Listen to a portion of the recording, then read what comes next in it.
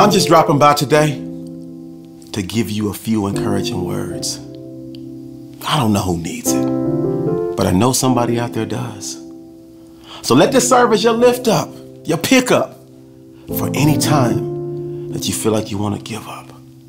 Never forget you matter. You are enough.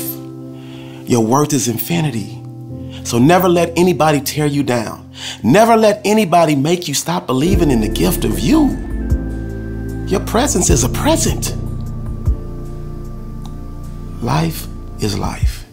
And it will show up and it will show out and it will try to kick in your door and it will try to knock you down and knock you out. But please, you are a superstar boxer. Do not throw in the towel. Do not let that referee come and stop your fight. Push that referee aside and say, you know what?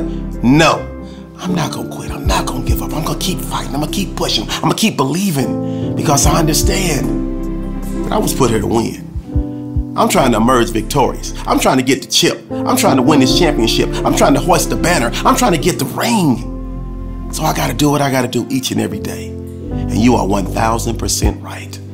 Don't you understand? You may not believe it, but somebody looks up to you. You are the hero to somebody. The things you've been able to overcome in your life, they look at you and they marvel. You gotta give yourself credit. You are an overcomer. You are the definition of resilient. You are a born fighter. You are a natural born winner.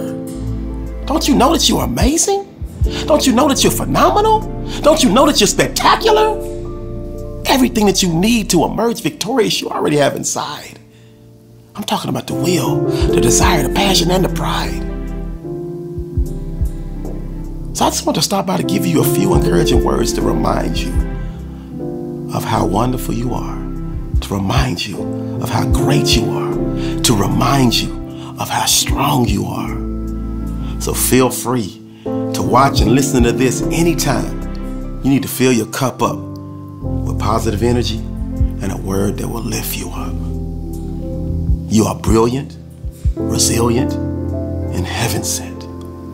Period. And once you subscribe to that thought process, you will find yourself climbing over the hump and making each and every day of your life a WINSday.